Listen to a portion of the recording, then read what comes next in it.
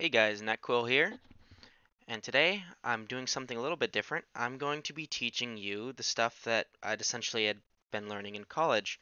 I'm going to teach you about G-code, or, well, specifically these videos are going to be more for reference, so if you already kind of know about G-code but you need a refresher and an explanation rather than just looking it up, I can give you that refresher. So today, we're going to talk about G0 and G1, uh, a couple of the most basic codes in G code.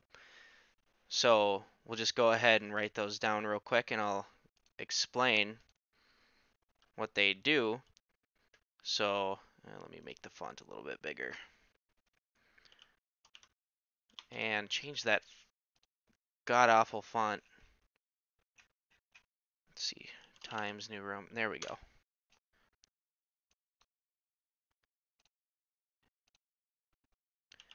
G0 and G1. So G0 and G1 are some of the most basic codes. G0 being rapid interpolation and G1 being linear interpolation. So let me go ahead and write that real quick just for reference.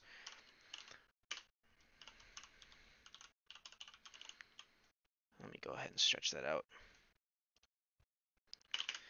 And then we have linear interpolation. However, they both move up. Interpolation. There we go. First thing you'll learn about a machinist is that we're all pretty bad at spelling. Uh, so, basically, rapid interpolation, when you put that into the control, it's now in a mode where the machine will move as fast as it can to get to any position you specify. So for, I'll give you a quick example here. So uh, G0, X 1 inch, Y 1 inch, Z 1 inch. It will move the machine as fast as it can to that location, which would be 1 inch from the origin in the X, one inch from the origin in the Y, and one inch from the origin in the Z. Now, where your origin is depends kind of on where your work offsets are set, but we can, obviously, we will cover that in another video.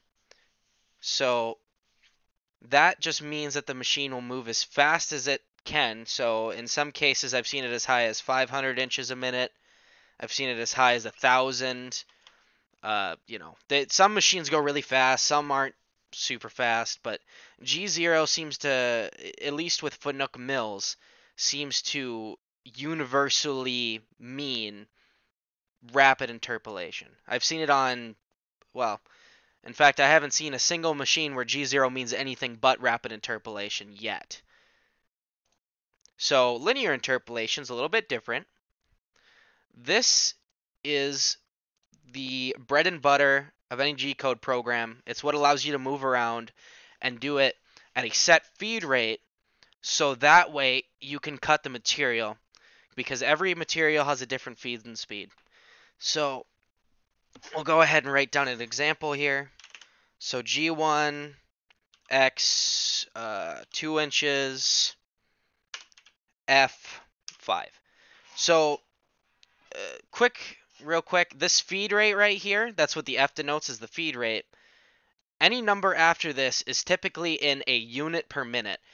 And whether or not it's in freedom units, it would be about 5 inches a minute, or if it's the rest of the world, it would be about 5 millimeters a minute.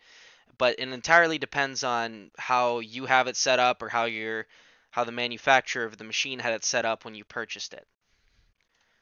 So, basically what this means is I want to move the tool to wherever it is now.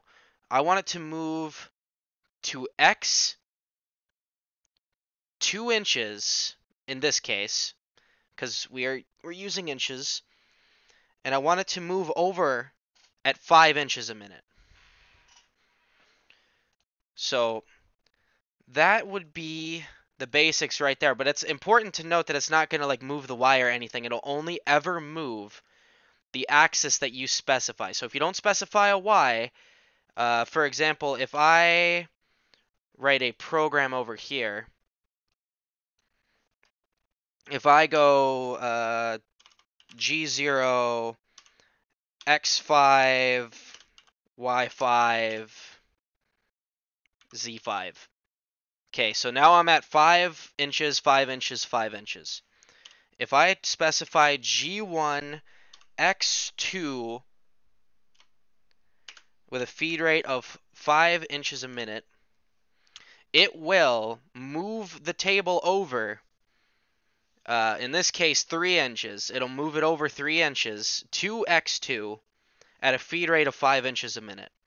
But the actual position is would be X2, Y5, Z5 because we never called up those specific axes, they never moved. And so that's what allows you to do straight lines. So that was just a basic overview of G1 and G0. If you guys have any questions, go ahead and ask them in the comments. Of course, this isn't explaining what G-code is. This is more of a quick reference for people who kind of already understand it and they just wanted a refresher. So thank you everyone for watching, and I'll see you next time.